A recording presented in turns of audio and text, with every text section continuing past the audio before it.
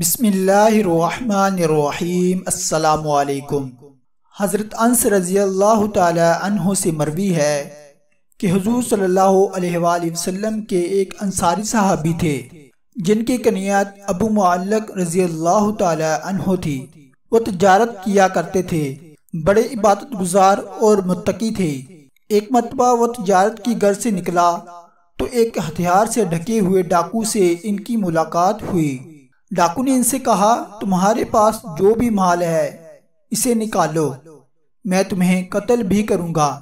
حضرت ابو معلق رضی اللہ تعالی عنہ نے فرمایا، تمہیں میرے خون سے کیا غرض؟ تمہیں تو صرف مال ہی سے مطلب ہے۔ کہنے لگا، مال تو میرا ہی ہے، میرا مطلب تو تمہاری جان بھی ہے۔ حضرت ابو معلق رضی اللہ تعالی عنہ نے فرمایا، اگر تم انکار ہی کرتے ہو اور اپنی بات پر ڈٹے ہوئے ہو تو مجھے چار کات نماز پڑھنے دو۔ کہنے لگا، تم جتنے چاہے نماز پڑھ لو۔ چنانچہ انہوں نے وضو کیا اور پھر چار کات نماز پڑھی اور انہوں نے آخری سجدے میں یہ دعا مانگی۔ اے محبت کرنے والے، اے بلند بالا عرش کے مالک، اے اپنی مرضی کے مطابق کرنے والی ذات بطفیل تیری اس عزت کے جس کو کوئی نہیں پھٹک سکتا۔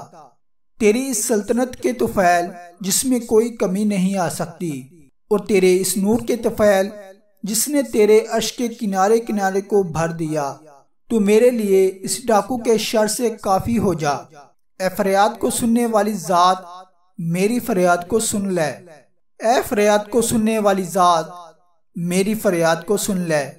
اے فریاد کو سننے والی ذات، میری فریاد کو سن لے۔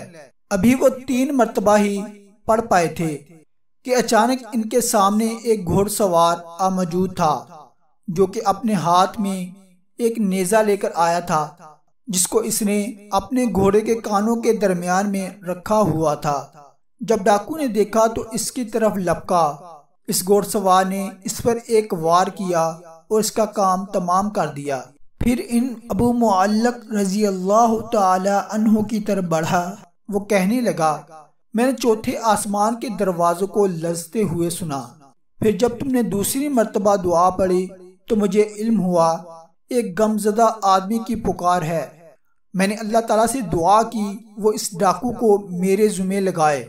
حضرت انس رضی اللہ تعالی عنہ فرماتے ہیں، جان لو کہ جس آدمی نے بھی وضو کیا اور چار رکعت نماز پڑھ کر یہ دعا مانگی، اس کی دعا ضرور قبول ہوگی۔ چاہے غمگین ہو یا نہ ہو۔